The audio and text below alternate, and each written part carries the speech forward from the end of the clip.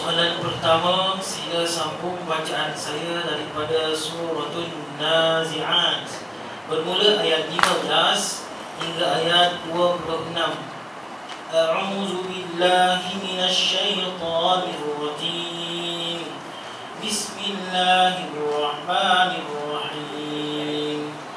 Hal ataka hadithu Musa? A'udzu